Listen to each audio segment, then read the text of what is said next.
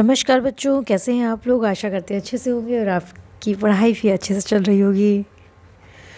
कल हम लोग पढ़ रहे थे पुनरावलोकन पाठ प्रथम पाठ का पुलिंग में।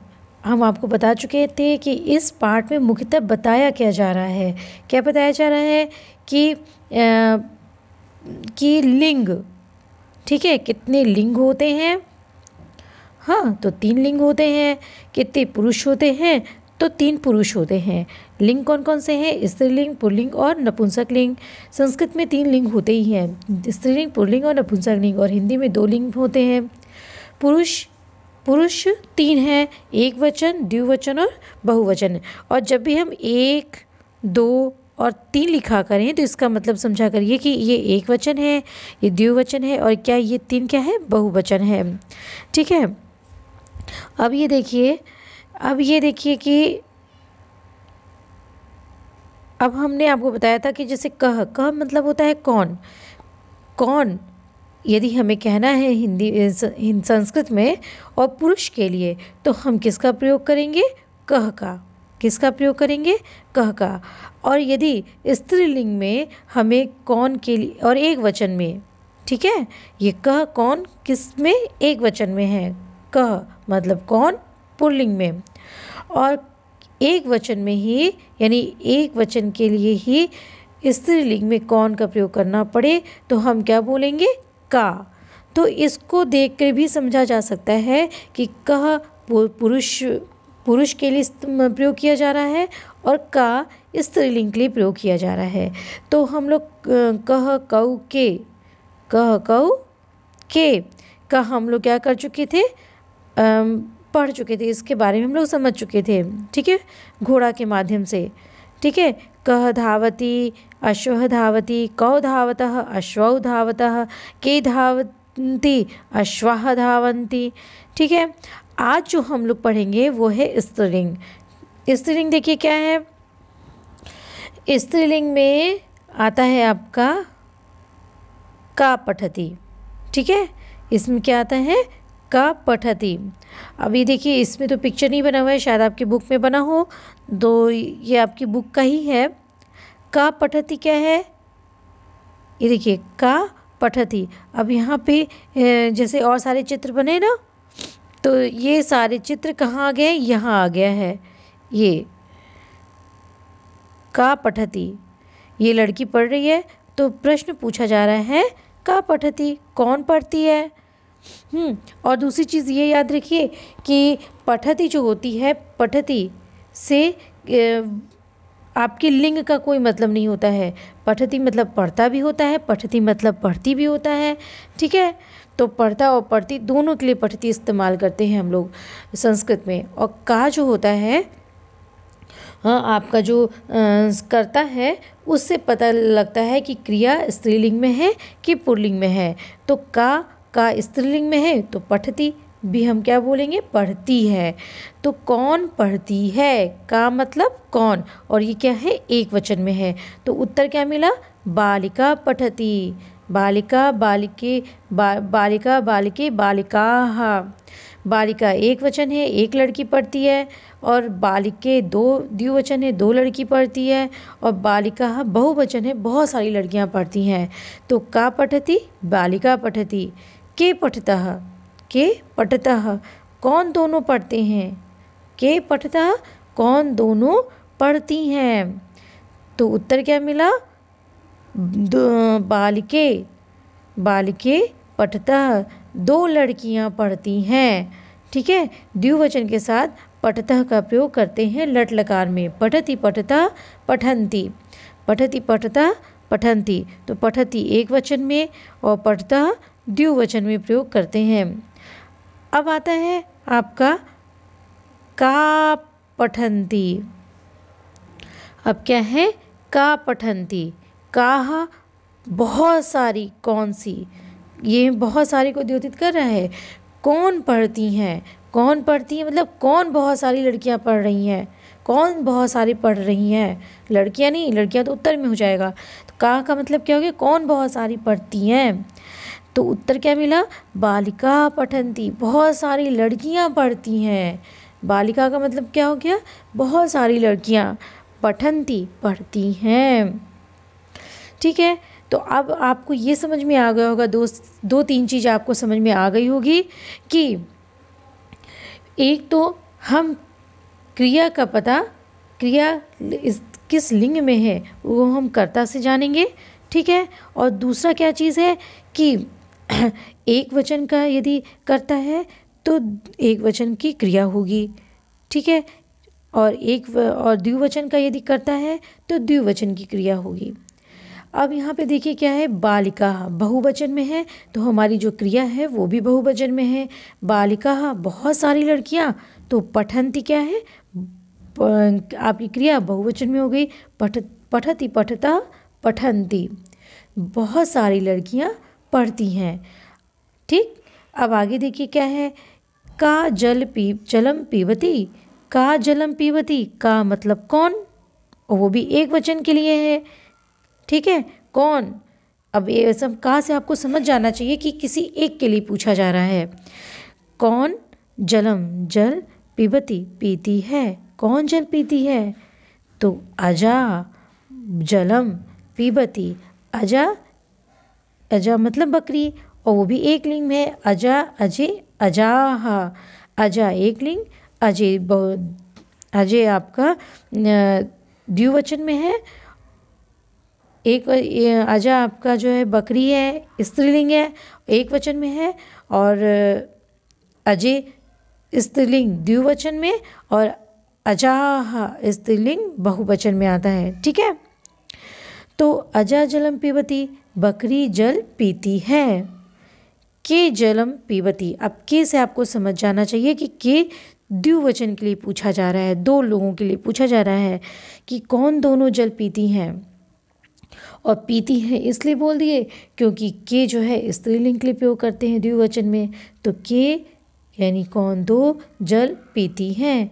तो अजय जलम पीबता, दो बकरियाँ जल पीती हैं। दो बकरियाँ क्या करती हैं?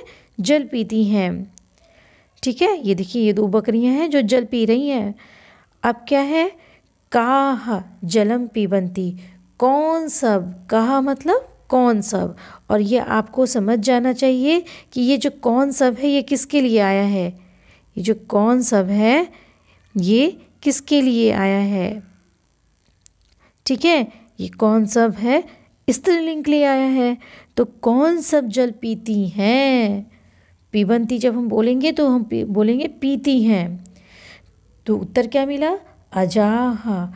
बहुत सारी बकरियाँ जलम, जल को पीती हैं। अब जल में जो है बहुवचन नहीं हुआ। क्यों? क्योंकि कर्म है।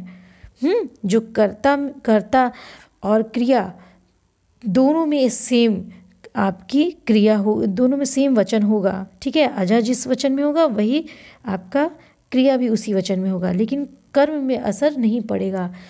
ठीक है? कर्म में कारक का प्रयोग करते हैं ना? तो अजह जलम पीबती। बकरियाँ, बहुत सारी बकरियाँ, या बहुत सारी बकरियाँ बोलिए, या तो आप कहिए बकरियाँ।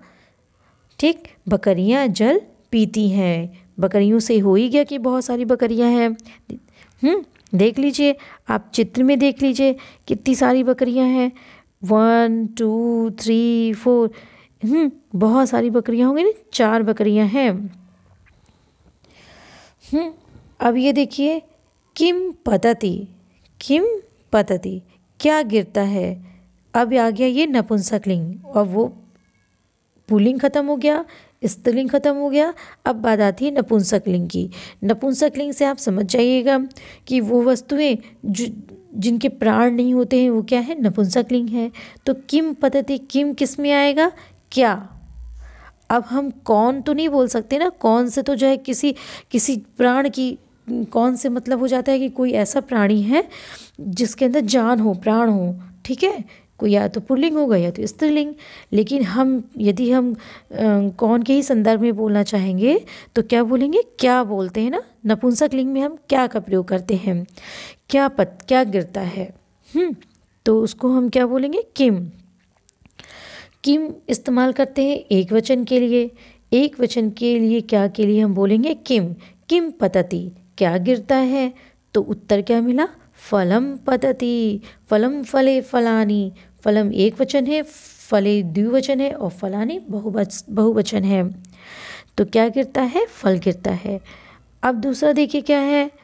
दूसरा देखिए क्या है? किम, के पततः। के मतलब कौन दोनों गिरते हैं?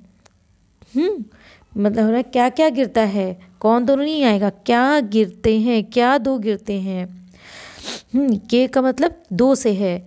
क्या दो? हाँ क्या दो गिरते हैं? मतलब दो चीज़, क्या गिरता है? यहाँ के का मतलब दो से संदर्भित है, क्या के अर्थ में? ठीक तो अब उत्तर क्या मिला? फले पततः। फले पततः मतलब दो आम गिरते हैं, दो फल गिरते हैं। यहाँ आम भी नहीं कह रहा है, फल कह रहा है। वो अमरूद भी हो सकता है, कुछ भी हो सकता है। तो दो फल गिरते हैं। फले पततः मतलब फले मतलब दो फल दो फल गिरते हैं। ठीक, अब देखिए क्या है कानी पतंती कानी पतंती क्या हो गया मतलब कि कानी बहुत सारे क्या गिरते हैं, कानी मतलब बहुत सारे होंगे ना, क्या गिरते हैं? तो कह रहा है फलानी, बहुत सारे फल गिरते हैं, इधर इधर इधर इधर। देखिए फल गिर रहे हैं ना तो बहुत सारे फल पतंती गिरते हैं। किम विकसती? अब यहाँ पे देखिए, अब दूसरा आ रहा है आपका, किम विकसती। अब यहाँ पे आपको फ्लावर तो दिया नहीं है। यहाँ पे फूल तो देना चाहिए, लेकिन कोई बात नहीं नहीं दिया है तो कोई बात नहीं, आप अपनी बुक में देखिएगा। किम विकसती। किम विकसती मतलब होता है क्या विकसित होता है? विकसित मतलब खिलना है। क्या खिलता है? तो उत्तर क्या मिला? कमलम विकसती। कमल खिलता है। क्या खिलता है? सिर्फ़ एक वचन के लिए पूछ रहा है, एक के लिए पूछ रहा है। तो उत्तर क्या मिला? एक कमल खिलता है। कि विकसतः कौन दोनों खिलते हैं? यहाँ पे दो के लिए है। ठीक है? कौन दो ठो खिलते हैं? तो उत्तर क्या मिला? कमले। दो कमल खिलते हैं। क्या हो गया? दो कमल खिलते हैं। फिर फिर आपका उत्तर क्या है? कहानी प्रश्न क्या है? कहानी विकसंती। कहानी बहुत सारे क्या? कहानी मतलब बहुत सारे क्या? आपके बहुत सारे क्या खिलते हैं। तो उत्तर क्या मिला? कमलानी विकसंती। बहुत सारे कमल खिलते हैं। कमलानी विकसंती। और कमल का रूप कैसे चलेगा? जैसे फल का रूप चला है, फलम फले फलानी तो कमलम कमले कमलानी। ये आपका चैप्टर ये पूरा हो चुका है और इसमें जो पुरलिंग स्त्रीलिंग और नपुंसक लिंग के जितने भी आपके प्रश्नवाचक शब्द आए हैं हाँ उसके रूप और आपके जितने भी शब्द हैं, उसके रूप, आपके धातु रूप जो आ रही है, वो वो सब अपनी कॉपी पे लिखिएगा ज़रूर से और उसको एक से दो बार ज़रूर पढ़िएगा। अब उसके बाद हम लोग क्या करेंगे कि इसके शब्दार्थ को इसके शब्दार्थ को भी देखेंगे, इसके शब्दार्थ को भी देखेंगे और और प्रश्नों को हल करेंगे। ठीक है? ये देखिए, अब उसके बाद नीचे आपके क्या है? प्रश्न हैं। ये सारे प्रश्नों को हम लोग हल करेंगे। पहले आप इस चैप्टर को बहुत अच्छे से एक से दो बार पढ़ने की कोशिश करिएगा। और फिर मिलेंगे अगले वीडियो में। आपके अभ्यास प्रश्न को सॉल्व करेंगे और आप इसको याद करिएगा, इसको पढ़िएगा। तब तक मिलते हैं अगले वीडियो में। ठीक है बच्चों? और यदि आपकी कोई क्यूरीज हो, यदि आप कुछ पूछना चाहते हो तो उसको कमेंट बॉक्स में ज़रूर लिखिएगा और लिख करके पूछिएगा, उसका उत्तर हम ज़रूर देंगे।